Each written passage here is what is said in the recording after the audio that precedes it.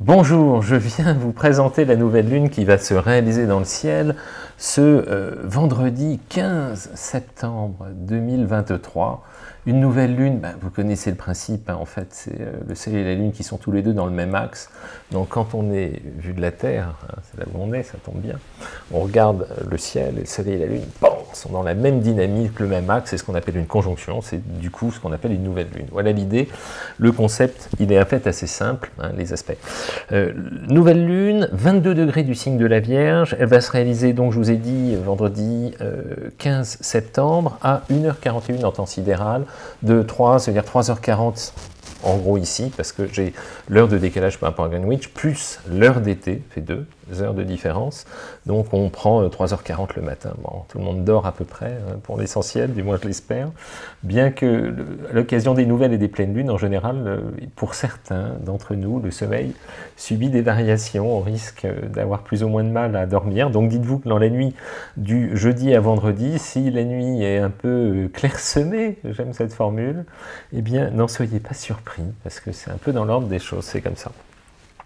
Qu'est-ce que j'ai dans le ciel? Elle, est, elle est pas mal cette nouvelle lune. Elle est pas mal parce qu'elle est porteuse et surtout, elle, est, euh, elle reçoit des aspects intéressants. Vous allez voir les aspects que reçoit cette nouvelle lune. Bon, dans un premier temps, euh, on va regarder pour qui euh, faire, faire, faire un petit peu attention et ceux qui vont en bénéficier au maximum toujours comme ça que j'essaie de m'y prendre. Alors, ceux qui doivent faire un petit peu attention, ce sont ceux qui appartiennent, donc 22 degrés hein, de, la Vierge, ceux qui appartiennent au troisième décan des poissons, attention, vous risquez d'être plus éruptif, sensible, réceptif que d'habitude. Troisième décan des Sagittaires, hein, mais Sagittaires, attention à pas monter en température, attention à l'impatience, attention aux agacements. J'ai, euh, à titre personnel, euh, des, une histoire euh, formidable avec les Sagittaires, c'est pour ça que j'adore ce signe, hein. chacun a son vécu, je des, images super positives, c'est pour ça que j'idéalise un peu les Sagittaires, mais bon, il faut être lucide quand même. Attention les colères, c'est pour ça que ça n'a pas marché, les colères, les agacements, les montées en température, l'impatience, et bien typiquement avec une nouvelle lune au carré, en conflit avec vous, faites un petit peu attention à ça, parce que c'est le courant qui vous attend cette journée-là du vendredi. Et puis également, troisième décan des Gémeaux, hein, euh, même combat, euh, mercurien, Gémeaux, euh, rapidité d'adaptation, facilité d'élocution, suradaptation dans ces périodes-là, fatigue, nervosité, irritabilité, impatience, voilà. Hein, vous trois, donc je résume, ceux qui doivent faire un peu attention, troisième décan Sagittaire, troisième décan Balance, pas Balance, rien à voir, troisième décan Poisson et troisième décan Gémeaux. Pour le reste, en revanche, euh, cette nouvelle lune démarre un cycle d'un mois qui est porteuse de très belles énergies, conscient-inconscient, soleil et lune, toujours pareil, hein, cette juxtaposition des deux éléments les plus fondamentaux, les plus puissants, soleil et lune, mais en même temps les plus, les plus dynamisants, les plus porteurs en matière d'objectifs conscients et de sensibilité qui se réunissent dans un même pôle, dans un même axe, apportent une énergie absolument magnifique. Pourquoi une énergie magnifique? Parce que dans le ciel, cette soleil lune, cette nouvelle lune se réalise à 22, on l'a vu, euh, euh, de la Vierge, forme un parfait trigone, un angle de 120 degrés, tout à fait bienveillant et protecteur, avec une planète qui s'appelle Uranus, qui est actuellement à 22-23 degrés du taureau. Donc 120 degrés entre la nouvelle lune et Uranus, mais de nouveautés, de créativité, de, voir les choses sous un angle différent, élargir le champ de conscience, essayer de, repérer ce qu'on n'avait pas identifié jusqu'à présent, modifier l'angle de vue, les solutions ingénieuses, la, la dynamique créative bien intégrée parce que l'aspect est heureux, c'est tout à fait heureux pour qui? Pour mes troisième décan de la Vierge, mais tout le signe en fait. Hein. Après c'est dégressif, mais l'influence est puissante. Pour mes Vierges, pour mes taureaux, pour mes capricornes, pour mes scorpions et pour mes cancers. Pour vous cinq, cette nouvelle lune, elle est très intéressante parce qu'elle amorce un cycle nouveau qui réveille plein de choses en même temps. Hein. Les planètes qui sont en vierge en ce moment très positives, surtout qu'il y a Mercure dans le coin, communication, réactive en même temps, les trigones, les angles de 120 degrés formés avec les planètes qui sont en taureau. Les planètes qui sont en taureau, on l'a vu, c'est Jupiter, la chance, l'expansion, très très bon pour mes signes de terre et mes signes d'eau, mais également Pluton qui est en fin du Capricorne, donc là il est heureux, Pluton en trigone avec le Soleil et la Lune. Donc la fin, ce qui se joue autour du 15 décembre, du 15 septembre, pourtant, euh, c'est bien que Mercure est un peu rétrograde en ce moment. Donc toute cette phase-là, elle est très très très intéressante. Je suis vraiment insistant pour le coup. Je vous le refais, ceux qui peuvent en bénéficier au max sont mes cancers, mes vierges, mes taureaux, euh, mes scorpions, mes capricornes. Ne me loupez pas ce coche de la mi-septembre. Tous les virages qui se négocient en, même, en ce moment peuvent être optimisés. On peut en tirer de très belles choses, ça peut être constructif, productif, créatif. On est dans une synergie assez large d'influences planétaires qui, dans leur globalité, sont très porteuses. Bon, certes, il y a un petit bémol, petit bémol, hein, c'est que cette nouvelle lune qui se réalise à la fin de la Vierge forme une opposition avec Neptune. Alors l'opposition avec Neptune, euh, Neptune, c'est intéressant parce que c'est une planète qui euh, fait appel à euh, l'inconscient collectif. C'est Jung qui parle de l'inconscient collectif avec Neptune, c'est un passionné d'astro. Et, ça augmente la porosité, la réceptivité, la sensibilité pour les mêmes, en fait, hein, pour, pour mes signes d'eau et mes signes de terre. Comme il y a une opposition, on peut être dans une phase en même temps de, de ce que j'appelle porosité émotionnelle plus marquée. Donc on prend les choses plus à cœur, plus au sérieux. parfois, il faut prendre du recul, il ne faut pas laisser l'imagination prendre le relais face à des ressentis, des informations qui passent, des choses qui sont comprises de façon parfois subjective, des paroles maladroites qu'on peut interpréter de manière un peu trop radicale. Là, j'ai besoin d'une élasticité intellectuelle, humaine, un assouplissement, et puis pas prendre les choses trop à cœur. Hein. Je veux qu'on reste opérationnel sur les planètes en Terre pour fixer dans le concret ce qu'on a en tête en s'en donnant les moyens, parce que le ciel prédispose à avoir cette bonne vision d'ensemble qui nous éclaire le chemin. Hein, pour vous cinq. Et puis c'est pas tout, il y a ceux qui sont euh, euh, pas concernés directement par la nouvelle lune parce que les aspects formés sont neutres. Alors les aspects formés neutres, c'est simple, hein, quand il y a une position planétaire quelque part, là par exemple la nouvelle lune est en vierge, donc ceux qui sont à 30 degrés en amont et en aval, donc mes lions et mes balances, pas concernés par la nouvelle lune ceux qui sont en 150 degrés, qu'est-ce que c'est 150 degrés? C'est ce qu'on appelle un quinconce, c'est l'addition d'un carré, d'un conflit et d'un sextile, une protection. Donc ça donne des aspects sur lesquels je veux pas qu'on polarise. Donc ceux qui sont en quinconce, donc neutres aussi, sont mes versos, 150 hein, degrés de ma Vierge, et mes béliers, 150 degrés de l'autre côté de ma Vierge. Donc vous quatre, n'êtes pas du tout concernés, ou très peu, ou par effet rebond, parce qu'il y a autour de vous des personnes qui sont nées sous des pleines lunes, des, nouvelles lunes, des, contrariétés, des carrés soleil lunes, donc eux ils sont agacés, donc par effet ricochet, ça vous concerne, parce que dans votre champ de vie, votre périmètre de vie, il y a des personnes qui sont plus fatiguées, donc euh, bien, on prend, si on est trop proche, euh, les influences en question par effet dérivé, bien évidemment, mais sinon, pas concerné par l'influence en soi. Et puis, il y a d'autres choses. Il y a d'autres planètes en ligne de mire. Les autres planètes en ligne de mire euh, concernent justement ceux qui ne sont pas directement concernés par cette euh, nouvelle lune qui se présente là le 15 septembre. Les planètes en ligne de mire, c'est toujours les mêmes. J'ai deux planètes dans des signes différents, hein, qui sont ni en eau ni en terre. Les signes en question, euh, ce sont des. J'ai une planète en signe de feu, une planète en signe d'air. Ça tombe bien. Pour mes signes de feu et mes signes d'air, vous aviez il y a des choses intéressantes pour vous.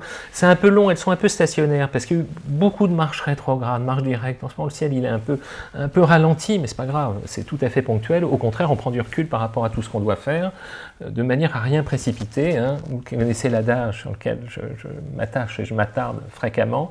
Cet adage consiste à dire que le temps ne respecte rien de ce qui est fait sans lui. Le temps ne respecte rien de ce qui est fait sans lui c'est plutôt Saturne qui parle comme ça en général. Saturne en ce moment il est en poisson, il me fatigue un peu mes premiers décans poissons, mes premiers décans vierges, mes premiers décans sagittaires, mes premiers décans gémeaux, mais en même temps on acquiert de la sagesse, du recul, de la profondeur, tout simplement. Hein, c'est toujours un bénéfice secondaire partout, de toute façon. C'est ça l'idée. Voilà. Et puis, euh, donc, l'idée globale, c'est que je parlais de Vénus et de Mars, qui, effectivement, en ce moment, euh, avancent lentement, parce que Mars est rentré en balance il y a quelques jours maintenant.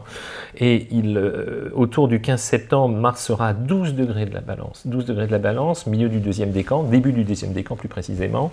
Donc, Mars, l'action, la volonté, l'énergie, le fameux je retrousse les manches eh bien, il apporte une énergie, pour le coup, une volonté, une aptitude à passer à l'action hein, pour mes balances, mes gémeaux, mes versos, mais également les deux signes, parce que Mars est en signe d'air, donc il me protège des autres signes d'air, implicitement, c'est QFD. Mais il protège également par le jeu des sextiles mes sagittaires et mes lions. Voilà, pour info.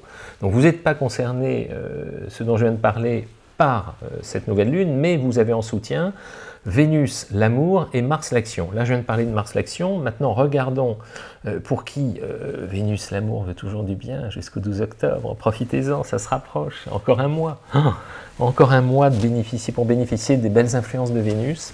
Eh bien, Vénus est à 15 degrés du lion, autour de ce 15 décembre, 15 septembre. Vénus pile en plein milieu du lion.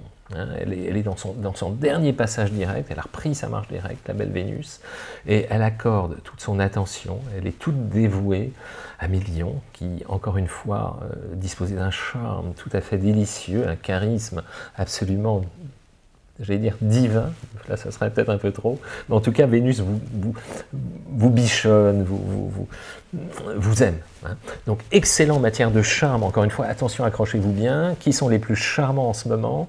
Mes lions, mes béliers, mes sagittaires, voyez hein. mais également, quand c'est euh, une planète est en lion, elle veut du bien à mes gémeaux et à mes balances.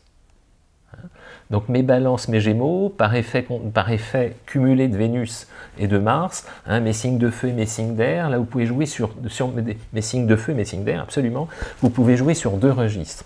Le registre du charme avec Vénus et le registre de l'aptitude à prendre des décisions, à vous motiver, à vous prendre en main, à, amorcer, à créer ce que j'appelle l'élément déclencheur qui souvent est à l'origine des situations qui nous permettent de faire avancer ce qui bloquait depuis longtemps. Euh, moi j'aime bien avoir des beaux aspects de Mars. Quand ils sont là, euh, on est on est plus apte à faire les efforts qu'on a du mal à faire en temps normal lorsqu'il n'y a pas l'influence. on se sent porté, on se dit allez on y va, et puis ça se, fait, ça se fait beaucoup plus vite. Et puis le premier pas qui est celui qui coûte, une fois qu'on l'a enclenché, le reste se met en place dans une dynamique beaucoup plus naturelle. Ça, c'est l'idée. Et puis, quand on a Vénus qui protège en même temps, on sait y mettre la rondeur, la douceur, la gentillesse, la souplesse, le, le, côté agréable, la bonne attitude. Euh, les Vénusiens ont ce talent euh, tout à fait particulier qui fait qu'on a toujours envie de leur faire plaisir, parce qu'ils ont à la base, lorsque dans une carte du ciel, on a la chance d'avoir une, belle une Vénus valorisée. Qu'est-ce que c'est une Vénus valorisée? C'est une Vénus où, dans une position d'angle, un milieu du ciel, un ascendant, un descendant, etc., euh, un endroit où on met la planète en valeur, et si en plus elle est dans un secteur où à la naissance elle a des affinités, ah, c'est grand chelem là, hein, une Vénus en, balance, une Vénus en cancer, une Vénus en, poisson, une Vénus euh, en taureau, hein, voilà, hein, ça c'est pour les plus, les plus faciles, ceux qui ont plus de charme naturellement, mais tout est possible. Tout est possible, encore une fois, une fois qu'on a acquis et compris l'importance de jouer sur le registre des planètes et du talent de chacun.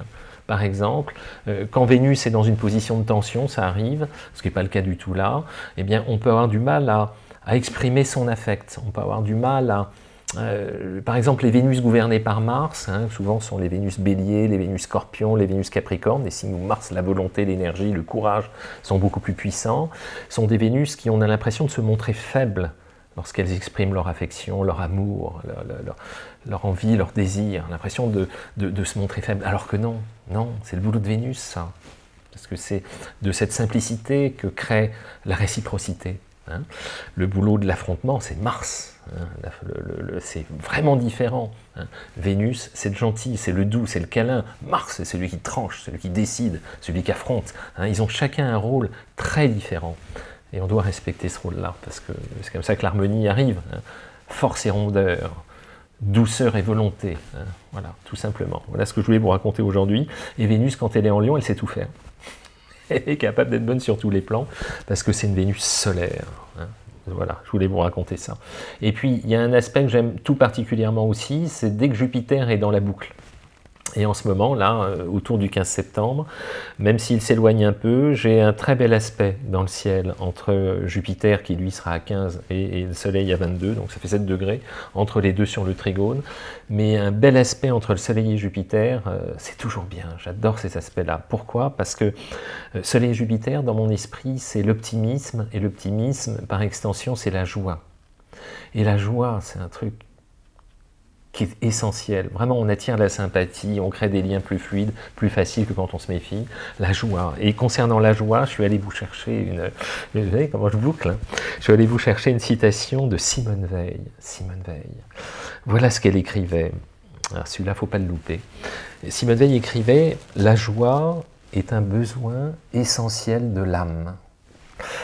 Le manque de joie qu'il s'agisse du malheur ou tout simplement d'ennui, c'est un état de maladie où l'intelligence, le courage et la générosité s'éteignent. C'est une asphyxie. La pensée humaine se nourrit de joie. La pensée humaine se nourrit de joie. Simone Veil. Moi, je partage complètement. Je suis sûr que vous aussi. Voilà ce que je voulais vous raconter aujourd'hui à l'occasion de cette nouvelle lune. Bon, euh, merci pour vos likes, pour vos gentils commentaires qui font écho. Les bonnes énergies, ça fait écho. Et puis pour vos abonnements, la bonne blague. Et puis, puis je vous prépare plein de trucs là. À très vite. Merci encore.